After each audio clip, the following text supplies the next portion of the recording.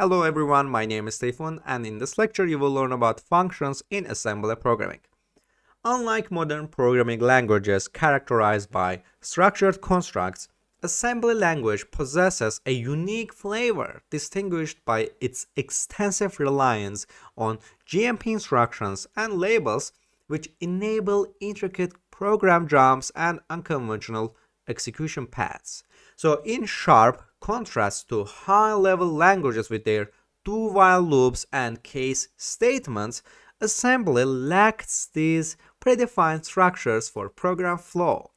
But however, don't be disheartened by the absence of conventional structures. So assembly language offers its own toolkit for organizing code, notably through functions and procedures. So think of functions as compact units that execute instructions and provide a result, while procedures are akin to instruction sequences that carry out tasks without yielding a specific output.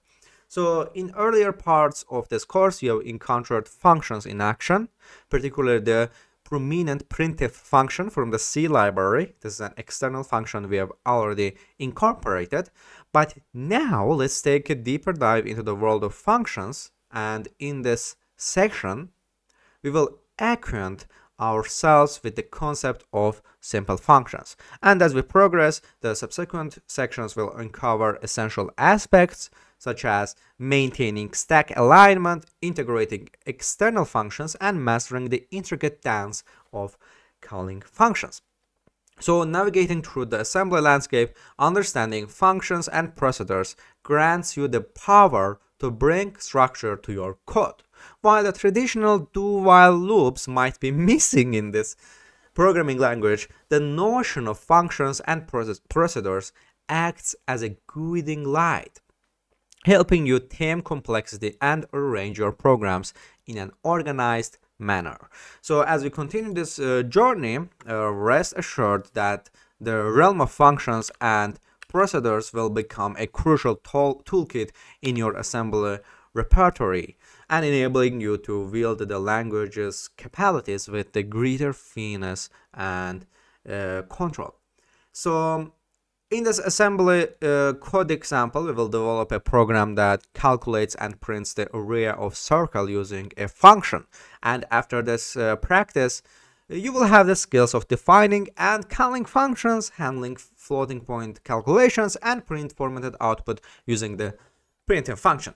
So now let's create a new project. Um, now save it somewhere like as we save our all the code here. So let's name it function num uh, function first function first function project here and we will also develop another function project after this lecture in another uh, lecture of course. So now let's make it uh, fun function one function one dot asm save it delete this predefined code and now we will uh, declare the external printf function here so extern um, extern printf here. And after that we will create a section data here. And we will create a two data here. So which is the firstly is radius. Uh, it's gonna be dq here. Not uh, lowercase dq here and 10.0 here we are declaring the radius of circle as a double precision floating point number. And p dq here and we will as you know 3.14 uh, so we here we are declaring the value of p as a double precision floating point number and we will also create the string here. So fmt db here db and here the area of the circle is 2f and after that yeah the area of circle. Actually let's make it the uppercase. The area of circle is 2f which with this will show the two floating point number here. And you will see uh, at the output in more detail. So can add no terminating here and that's it. Here here we'll uh, form a string for printing the array here. And after that we will declare the entry point of the program in text in uh, text section. Text global main. Here we declare the entry point of the program as main. And now what we're gonna do is we will first create our main and we will first save the base pointer. So main push rb push rbp and move rbp rsp which we are setting up the base pointer here. And now we will call the area. Uh, now here we are calling the area function to calculate the area of the circle and we will develop that area function uh, right after this. So and after that we will move the RDI we will move the fmt to RDI so with this we are loading the format string for printing here format string to printing here. So actually let's name it string here my string. Actually format string here. So it will be easier to see here. So format string. And now what we're gonna do is yeah. Move RDI format string. So we loaded the format string for printing. And now we will do move SD uh, with XMM1 and uh, radius right? Radius. Here we are loading the radius into XMM1 which is this is XMM1 is a floating point register. Remember that XMM1 is a floating point register and after that we will load the we will load the area into rax here. So rax 1 and we will call the printf. Now yeah printf and now we will uh, leave here and ret here we are restoring the stack frame and here we are returning from the main function. And we will also need to define this area label or function here. So area here uh, in this area let's actually make it a bit upper. Yeah. So area we will first push the um, rbp uh, for saving the base pointer. We will move the we will set up the base pointer as we did in main. So move rbp rsp and after that we will load the radius into xmm0 remember we loaded the radius here xmm1 and you will see why. So move st xmm0 and here radius.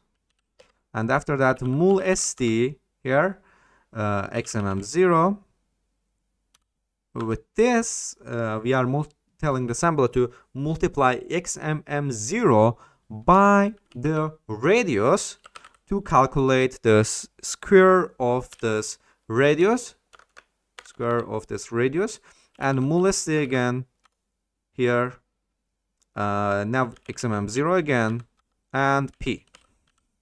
So we are telling the assembler to multiply xmm0 by uh, p to calculate the area of the circle. And now we will just leave to restore the stack frame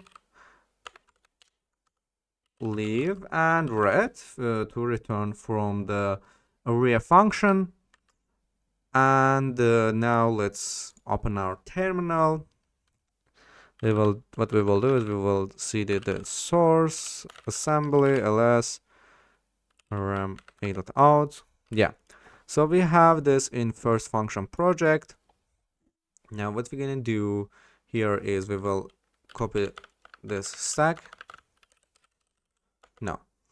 Yeah, copy the I think we don't need that. So we go we will go to first function here and as you can see we have function one.asm. We will copy the or I think we yeah, mousepad uh, home to phone source assembly and stack make file yes so yeah this is our make file and we will change that. Okay you can close here. That's it. So mousepad make. That's it. And now as we did in previous lecture we will find and replace it to not write this make file from zero again. And we will search for um, stack test. And we will replace with function one replace it all. Perfect. Now we can close and let's make this. And firstly uh, with this make file we will simply no target specified with no clear. Mousepad make. Yeah function one function one dot o function one dot asm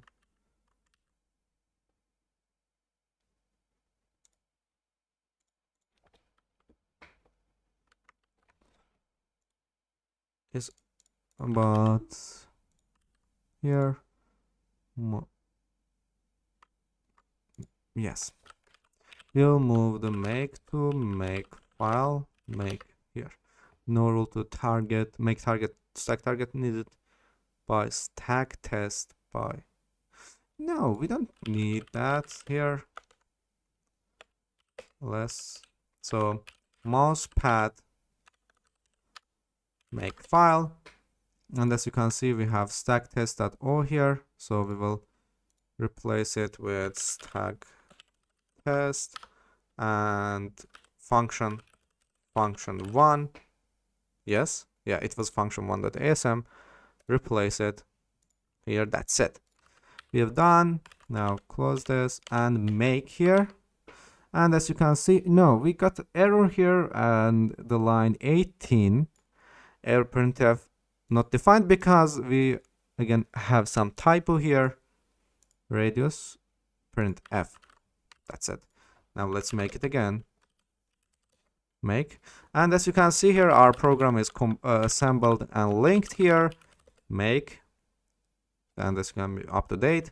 Ls now we have this executable lst uh, and object file here. Now let's run this function one and as you can see here, this code tells us the area of circle is 314 here. And uh, you can also run it from the NASM here. As you can see, the area of circle uh, 314. I just wanted to show you how to create or edit, modify the make file. But if you are getting any uh, errors um, on when you click this play button here, you can go to settings, build here and select 64 NASM and that's it. Uh, this will fix your problem if your program is running on the terminal and not on the SASM so now let's explain this code line by line here. So the code starts by declaring the radius and p as a double precision floating point numbers in the data section here. Let me actually check is this recording? Yes perfect. Now after that in the main function the code pushes the base pointer onto the stack and uh, sets up the base pointer and the cal area function calls the area function to calculate the um, area of the circle. And the format string for printing is loaded into RDA uh, and the radius is loaded into XMM1 this is a floating point register. And the result of the area calculation is loaded into RAX and the printf function is called to print the formatted output. And this leave instruction restores the stack frame and the ret instruction returns from the main function. And in the area function here the code pushes the base pointer onto the stack and sets the base pointer. And the radius is loaded into xmm0 and the square square square of the radius is calculated by multiplying xmm0 itself and the area of the circle is calculated by multiplying the squared um, squared the radius by pi and the leave instruction restores the stack frame and ret instruction returns from the array function just like in main function here. So this code demonstrates how to define and call functions, handle floating point calculations, and print formatted output. So it provides a clear example of organizing code into functions to perform specific tasks and promotes modular programming practices. Then That's it with today's uh, lecture and in next lecture we will do another practice with functions in assembly programming. My name is Stephen and I'm waiting you in next lecture.